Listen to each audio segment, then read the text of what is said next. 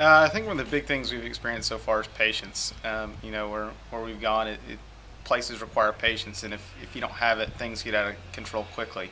But uh, if you can maintain your patience, things can uh, go the right way for you, even when you think that um, time might be running out.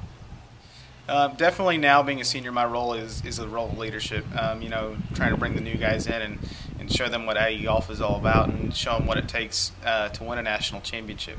Um, college golf is definitely a new experience, anything from high school golf or junior golf, so I'm going to do what I can to help them along the way.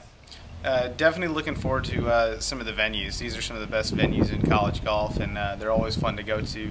Great competition and uh, great golf courses.